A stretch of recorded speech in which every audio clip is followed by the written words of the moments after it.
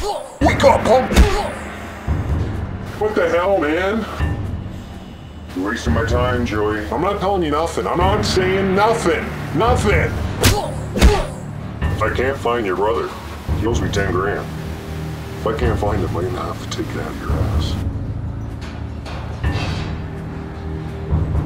Look, man, I'm, I, I, I don't know where he is at all. Uh, I'm not looking for any trouble, man. I'm not. I'm not looking for any trouble. You don't need to do anything stupid at all, man. I've had enough of this.